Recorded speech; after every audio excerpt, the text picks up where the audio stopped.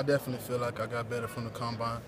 Um, that was my goal to come out here and um, improve my numbers and my performance in every aspect, and uh, I know I did. Uh, it's just more relaxed, you know what I'm saying? I'm in my own environment, you know what I'm saying? Um, more comfortable, I can say that.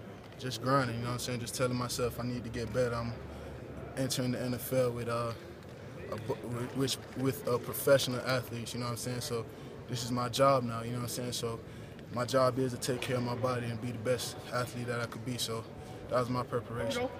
Get out, get out, get out. Go. Finish, finish. Good job, boy. I have no idea. I mean, I, I tried my best. I didn't really, I can't really judge myself. You know, it's up to them. That's what the scouts are for. But I felt good back. Finally felt good to be doing football drills again instead of working out with personal trainers and getting my knee right. You know, it took me about a while. A lot of people asked me where I went. You know, they thought I was just done, but I sat out about six months for surgery, and all that started again, and then training from scratch. So it took me a long time to get my knee right, and it felt good.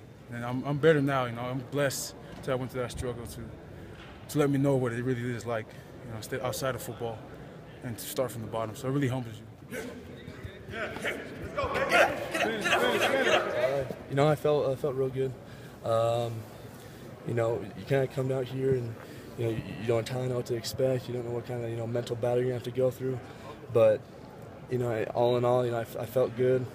Uh, you know, you always have stuff to work on, like everything in football, but for the most part, I felt pretty good. Uh, you know, I, I felt like I moved pretty well. Uh, you know, it's, it's never perfect. You know, there's a little footwork, you know, mistakes I wish I could have, you know, fixed and kind of gone back on. But you know, it's, it's it's up to the scouts now, and hopefully they like what they see. AJ. Nine even.